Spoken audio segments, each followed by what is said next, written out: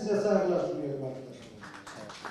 Muharip Gaziler Derneği Sivas Şubesi olan Genel Kurulu Kongresini bugün dernek yönetimi ve üyelerin katılımıyla gerçekleştirdi.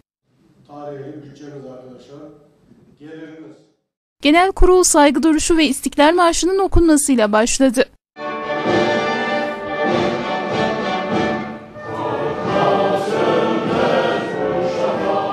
Daha sonra yetkililer gelir ve gider tablosunu okuyarak üyelere bilgiler verdi.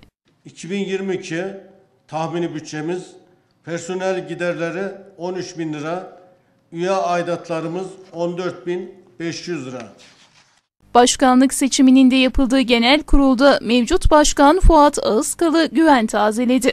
Yönetim Kurulu asil üyeler 1. Fuat Ağızkalı 2. Beşir Karakaya 3. Şahap Kartal 4. Nevi Karademir 5. Seçim sonrası bir konuşma yapan Başkan Fuat Ahıskalı, sizlere hizmet etmek bizim için gururdur dedi.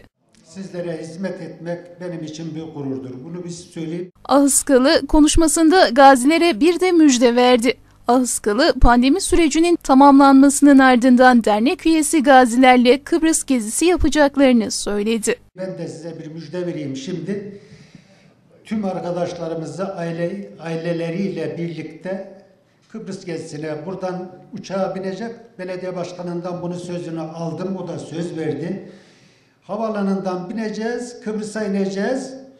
Orada ziyaretlerimizi yapıp geri havalanına geri getirecek. Bunu da söylemekte şey yapayım. Yalnız bu seçim yatırımı neyi değil zaten. Kimse yoktur zaten. Bunu da söyleyeyim sizlere müjde olsun. Ailelerinizle birlikte hepsi gidip gelecek yani bir uçak dolusu gidip gelecek. Bunu da söylemekte şey ettim.